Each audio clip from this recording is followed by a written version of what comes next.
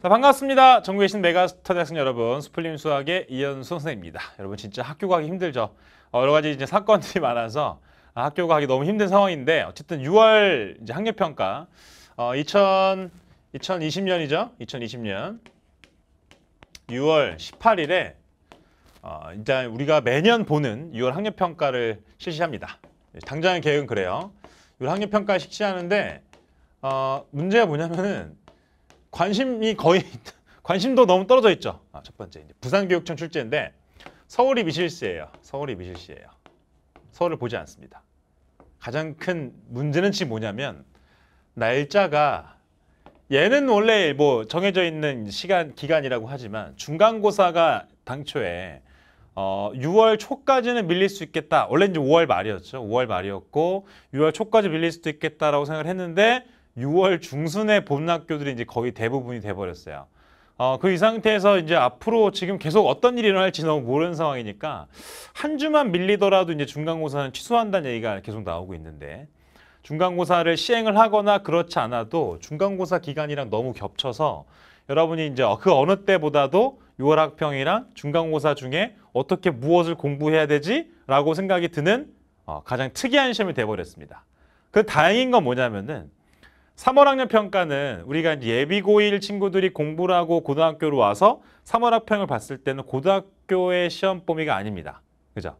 어, 그리고 이제 고2 친구들도 1학년 때 배웠던 내용을 시험 보기 때문에 그게 출제가 안 되죠. 그러니까 다시 우리가 공부했던 내용들을 그래서 6월 평가, 6학년 평가를 여러분 범위를 잘 생각해 보면 그나마 좀 다행이에요. 1학년은 이제 수학상에서 수학상에서 저 2단원 방정식과 부등식까지 나옵니다. 방정식이랑 부등식. 그 다음에 이제 2학년 친구들은 수학 1을 보죠. 수학 1에서 삼각함수까지 나와요. 공교롭게도 중간고사 범위와 똑같습니다. 그죠?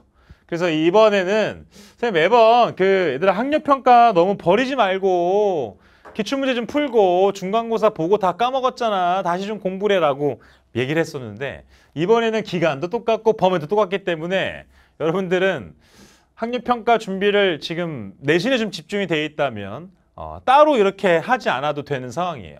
근데 모의고사는 여러분들이 1번부터 30번까지라고 하는 특이한 시험지이기 때문에 어, 그 시험을 보는 연습은 좀 하셔야겠죠. 그동안에 그 전년도에 대한 기출문제를 다운받아서 풀어보는 그런 과정들은 무조건 필요한데 여러분들이 해당 내용을 까먹었어 가지고 복습을 하거나 문제집을 다시 구매하거나 그런 상황들은 그 어느 때보다도 좀 뭐라 그럴까 노력이 덜 필요하게 되는 그런 상황이라고 생각이 듭니다. 가장 중요한 건 어쨌든 여러분 내신 성적이잖니.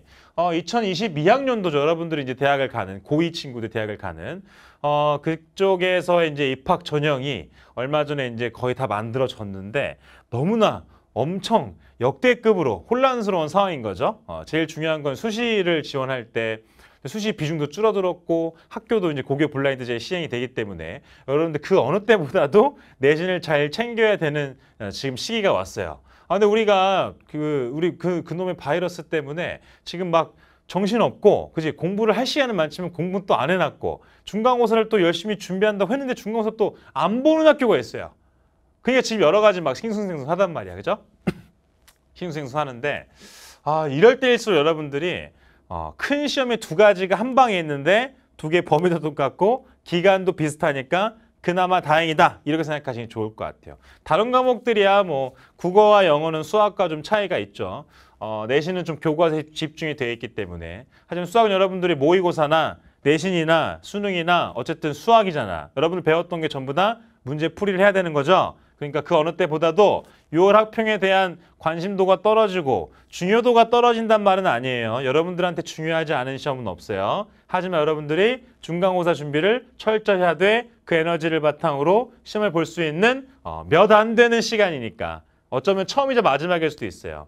이번에 여러분 공부했던 거 바탕으로 공부를 하되 중간고사에 좀 집중을 하게 되는 것이 좋지 않을까라는 생각이 듭니다.